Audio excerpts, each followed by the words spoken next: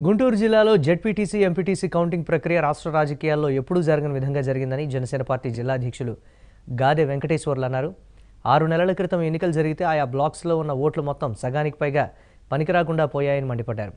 రాష్ట్రంలో అధికారులు కూడా వైసీపీ తొత్తులుగా మారి వారి ఇష్టం వచ్చినట్లు గెలుపులను ప్రకటించారన్నారు. వైసీపీ అవలంబిస్తున్న విధి విధానాలతో అసలు మనం ప్రజాస్వామ్యంలో ఉన్నామా అనిపిస్తోందని పేర్కొన్నారు.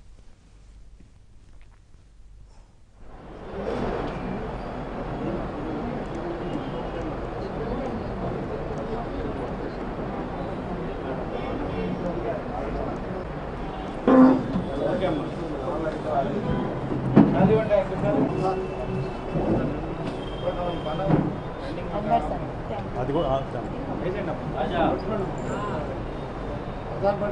మా ఇది పట్టుకోండి మా నిమిషం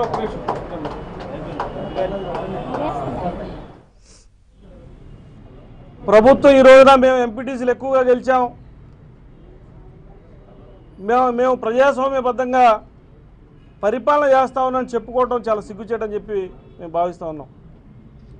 ఎక్కడా కూడా ఎన్నికల ప్రక్రియ మొదలైనప్పటి నుంచి కూడా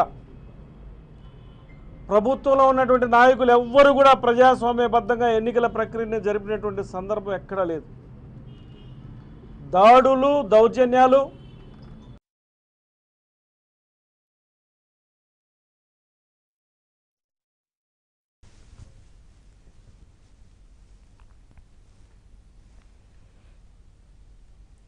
పశ్చిమ గోదావరి జిల్లా అచంట నియోజకవర్గంలో మండల పరిషత్